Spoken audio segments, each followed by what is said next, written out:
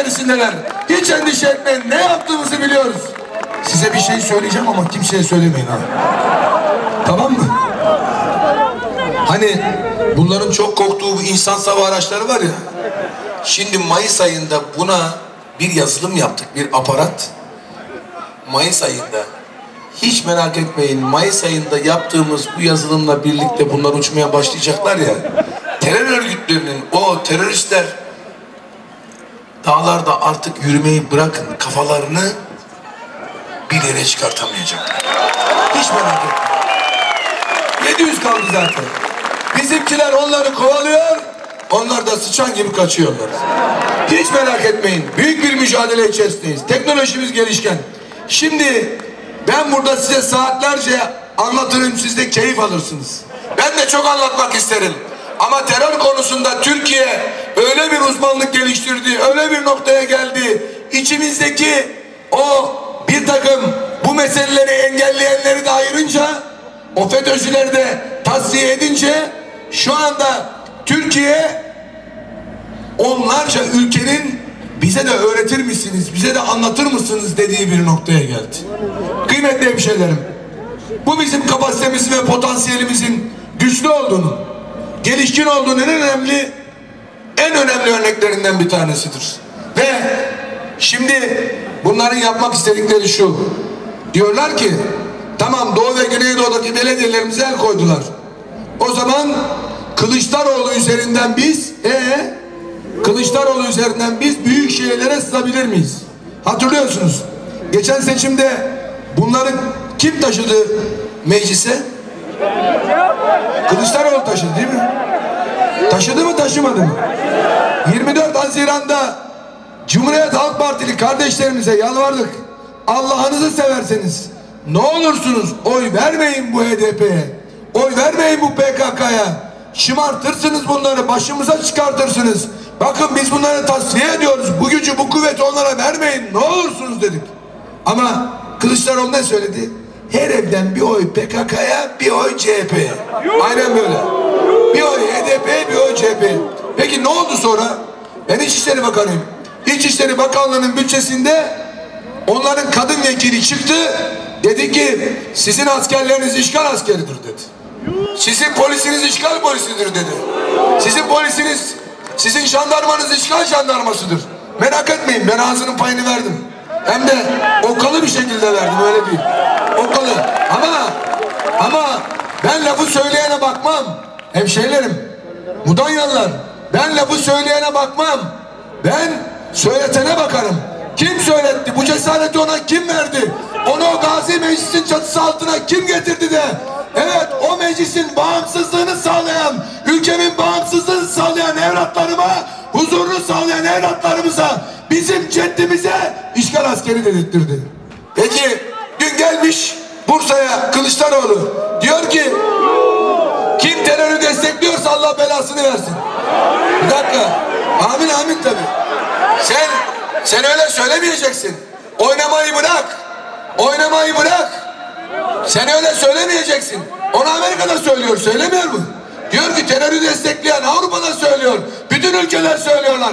Sen diyeceksin ki PKK'dan oy bekleyenin Allah cezasını versin. HDP'den oy bekleyenin Allah cezasını versin. Öyle yumuşak yumuşak telefon adresinin nereye gittiği belli olmadan yakalandılar. Şimdi de HDP PKK kendisini meclise sokan evet Kılıçdaroğlu'na büyük şehirlerde hem belediye meclis üyesi vererek hem de oy vererek ortaklığının diyetini ödemeye çalışıyor. Bu kadar açık ve net. Bir evladınız olarak söylüyorum. Bu seçim ne 2009 seçimidir ne de 2014 seçimidir. Bakın burada bir fotoğraf var. 2009 seçiminde 2014 seçiminde bu otobüsün üzerinde Milliyetçi Hareket Partisi İl Başkanı, AK Parti İl Başkanı, Milliyetçi Hareket Partisi İlçe Başkanı, AK Parti İlçe Başkanı, Ülke Ocakları Başkanı, Gençlik Kolları Başkanlarımız bunlar yoktu. Peki bugün niye var? Derdimiz ne? Sadece Mudanya Belediye Başkanı'na Doktor Murat'ı kazandırmak mı? Veya sevgili Büyükşehir Belediye Başkanımızı orada tek tekrar belediye başkanlığına getirmek mi? Eğer sadece bu kadarsa biz yazık ediyoruz demektir ya. Bir oyun kuruyorlar Türkiye'ye. Hem de önemli bir oyun kuruyorlar. Gezi olaylarından bugüne kadar Türkiye'nin kişi başına gelir seviyesini arttırmamak için, Türkiye'nin başını meşgul etmek için, Türkiye'nin arasından emdiği sütü burnundan getirebilmek için ellerinden gelen senaryoyu ortaya koydular Mudanyalılar. Şimdi aynısını devam ettirmek istiyorlar. Önümüzde koskoca dört buçuk yıl var. Koskoca dört buçuk yıl. Bu dört buçuk yıl içerisinde Türkiye zenginleşmesin istiyorlar. Türkiye özgürleşmesin istiyorlar. Türkiye'nin ekonomisi büyümesin istiyorlar. Çocuklarımız daha rahat iş bulmasın istiyorlar. Etrafımızdaki coğrafyaya elimizi uzatmayalım. Şefkat ve merhamet taşımayalım istiyorlar. Ayaklarımız üzerinde durmayalım istiyorlar. Onların inadına özgür bir Türkiye olacağız. Zengin bir Türkiye olacağız. Güçlü bir Türkiye olacağız. Ve dünyaya sözü hüküm olarak geçen bir Türkiye olacağız.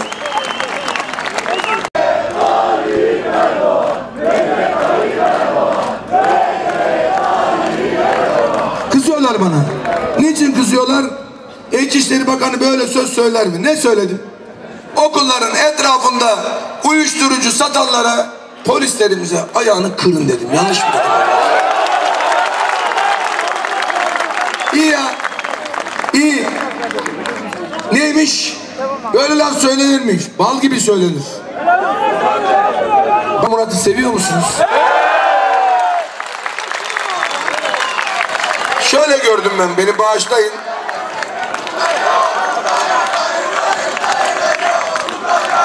Ön taraf seviyor, arka taraf seviyor galiba. Doktor Murat'ı seviyor musun Mudanya? Ey Allah razı olsun maşallah. Evet. Doktor Murat'ı size tarif etmeme gerek yok. Ama Doktor Murat nerede bir sınava girmişse bugüne kadar millet nezdinde kaybetmemiştir. Sıcaklığıyla, samimiyetiyle, iş yapma kabiliyetiyle aynı zamanda da Doktor Murat iyi bir Mudanyalıdır. Öyle öyle öyle birileri gibi de ben belediye başkanıyım. Benden olana iyi davranayım. Benden benden olmayana da kötü muamele edeyim diye bir ahlaksızlığa da sahip değildir. Düzgün bir adamdır. İyi bir insandır. Ahlaklı bir adamdır.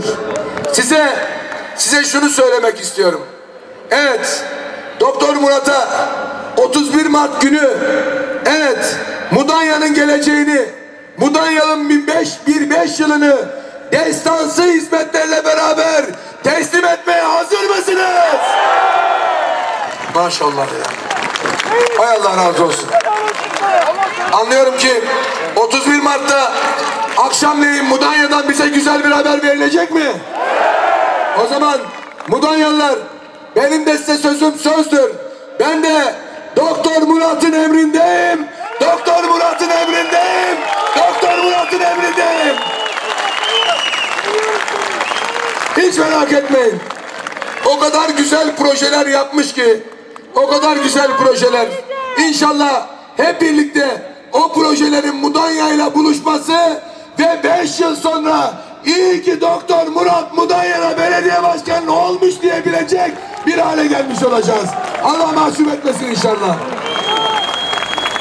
Benim bir şey söylememe gerek kalmadı Ali Nur Başkan için. Ama şu kadarını söyleyeyim. Hani bazılarına makam verirsiniz, iş verirsiniz değil mi? Hani bazen arabalar vardır. Bazı arabalar yokuş yukarı çıkamazlar, su kaynatırlar. Doğru mu? Ali Nur Başkan hiç su kaynatmadı ya. Hiç. Hiç su kaynatmadı. Allah razı olsun. Düzgün bir adamdır. Bakın yıllardır belediyeciliği, belediye başkanlığı yapıyor. Üzerinde tek bir leke yok. En ufak bir çizik yok. Dürüsttür, namusludur, işini önüne katan bir adamdır, çalışkan bir adamdır, naif bir adamdır. Benim bazen bu salım, sağım solum keskin biliyorsunuz lafları söylerken değişiyor. Ali Nur Başkan herkesi kucaklayan bir adamdır. Evet. 31 Mart'ta Ali Nur Başkan'a da güçlü destek olacak mısınız? Maşallah ya.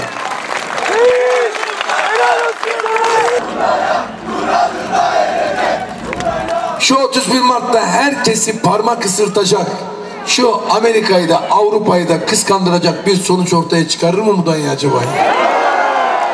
Çıkarır mı? Hay Allah razı olsun. Evet. Kıymetli hemşehrilerim.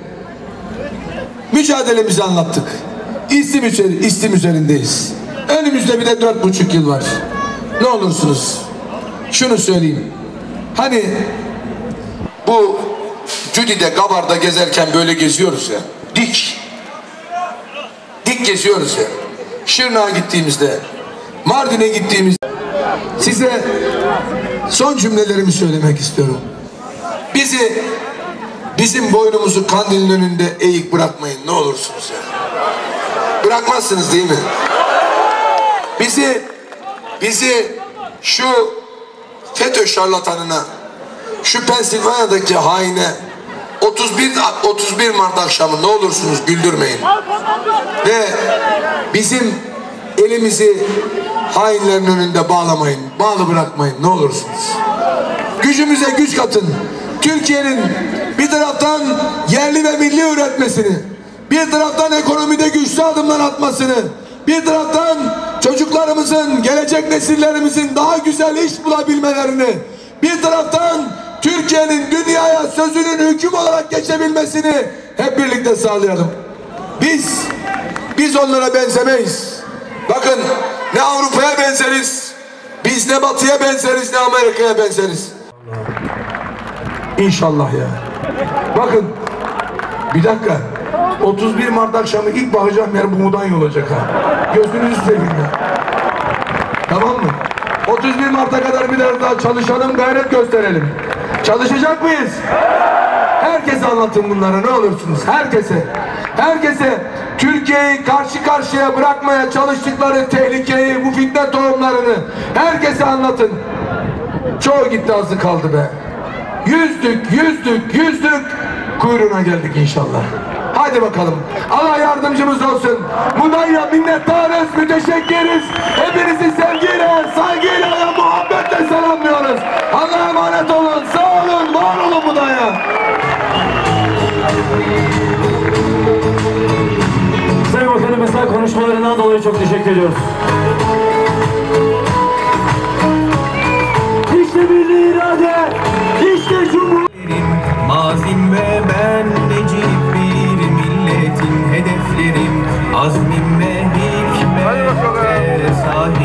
Seçimlerim hakkım benim.